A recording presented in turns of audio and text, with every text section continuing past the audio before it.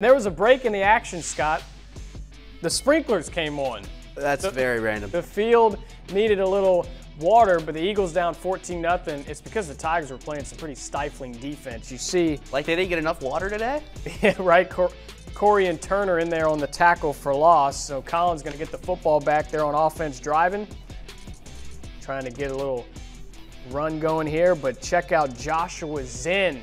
Nice tackle out in the open shoestring.